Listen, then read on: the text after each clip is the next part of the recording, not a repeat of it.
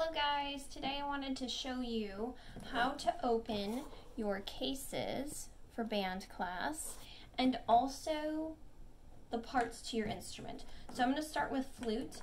Um, flute, this is what most of your cases are going to look like.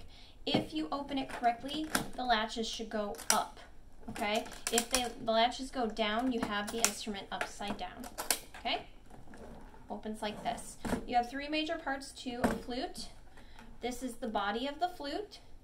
This is the neck of the flute. This is the part of the flute that you want to hold when you're putting the instrument together because there are no keys. Okay, we call these keys, not buttons. Okay, so you hold that first. All right, so I'm going to show you close up the body. Okay, the bottom of the flute is called the foot joint because it's at the bottom. And when I hold the very bottom of it, there's no keys, so that's where we want to hold it. We're going to carefully put the instrument together like this, screwing it on side to side. We have this rod on the foot joint, and we want that to be in the center of the body's keys, okay? Do not align all the rods, okay? That's not correct, even though it looks correct. So, the foot joint rod matches up with the body keys, the center, okay? So now I'm still holding the neck of my flute, and now we have the head joint.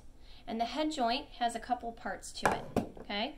So we have the head joint, we have the lip plate, the tone hole, and the crown, okay?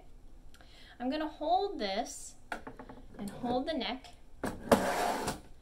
and I'm going to carefully put it on, and I'm going to center my tone hole with the center of my keys we want to take the unshiny part of the flute and we want to leave about a thumb's width of that showing. Okay, so we never want to push the head joint all the way in.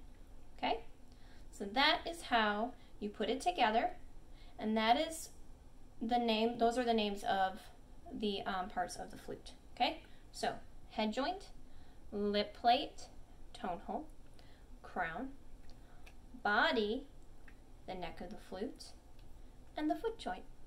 Okay, I would like you to try putting this together and telling me the names to all the parts and uh, record yourself doing it so that I can see that you can do it correctly. Okay, thanks guys.